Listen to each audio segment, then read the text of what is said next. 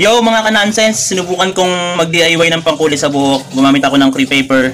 Pero sariling diskarte ko lang kasi hindi ko ano, hindi ko alam kung paano gagawin. So hinuhulaan ko lang kung paano gagawin. Tapos ayun, yung mga ginamit ko ng crepe paper na na- binabad sa in tubig, nalagyan ko doon ang sinasabi nila. Pero hindi ko hindi nila masyadong malinaw kung paano ko gagawin. Pipigain ko pala sa may sa may tabo or sa ano yung katas ng crepe paper. Ang ginawa ko, pinahid-pahid ko kagad diretso sa ulo ko yung crepe paper. So ang, ang resulta po mukhang sablay. Ito po. Ang ina niyan. Kapit-kapit sa mukha ko yung ano mukha ko. Ang green niya, kamapal yung kilay ko.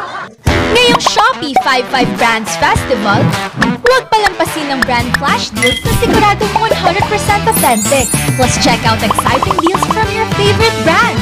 Shopee 5 Brands Festival. Shop na! Shopee! Pero at least kumpal yung kilay ko. Ayun, Pati kulay ko ng kilay ko, nagkulay blue. Ito kasi yung ginamit ko.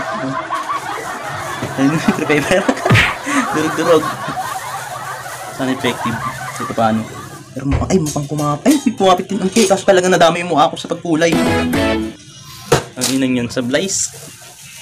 Pero, saan matanggal sa mukha ko? Check ko muna. Matatanggal sa mukha ko. Pero pag hindi ko tangin, itim. Alam mo, hmm. Ano mo, bulay-bulay yung mukha ko na para si ano. Ben, smurf, ay, smurf ba yun? Kasi mukha ko pa sa hindi ko kumapit.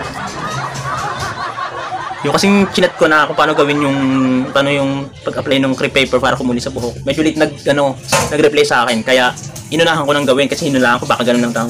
Yung pala pipigain to pala dito muna sa ano, sa tabo or sa ano, yung patas ng crepe paper, lulublob yung buhok. Yung buhok lulublob. Pero ang ginawa ko, yung crepe paper, nilagay ko doon, binabad ko lang konti, tapos nilagay ko sa ulo ko. Nilagay ko sa ulo ko. Ayun, pati yung mukha ko dami sa kulay. Hmm. Hmm. Ang gusto. Ay, kulay-kulay blue puta sablay. Eh. Ang naman. Nakakalabas ba ako nito may kulay-kulay mo? Hmm. Ano pati kuko dungis. Pero, pero at least parang kumuli. Kumuli ako. Ano kumuli kulay naman siya. Hindi na talaga na... Okay na, at least kahit paano nakulay ko ulit. Yun guys, subukan nyo magkulay sa buhok. Ang gagawin nyo pala is lagay nyo muna sa tabo or sa kahit ano yung paglalagyan nyo. Lagyan nyo yung crepe paper, pigain nyo yung crepe paper na may ansi na maligamgam. Maligamgam na tubig na unti, tapos pigain nyo doon. Tapos sa kanya, lulubog yung ano nyo, yung buhok nyo doon sa may tabo or sa kahit anong paglalagyan nyo.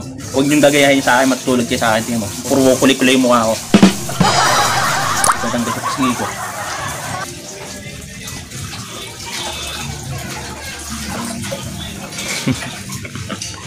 sa sablay na tutorial. Kaya hindi ko na mabuti hindi ko tutorial, parang nagmukha akong tanga doon sa tutorial kung sinimulan ko pala doon sa may pinakauna-una kong gagawin.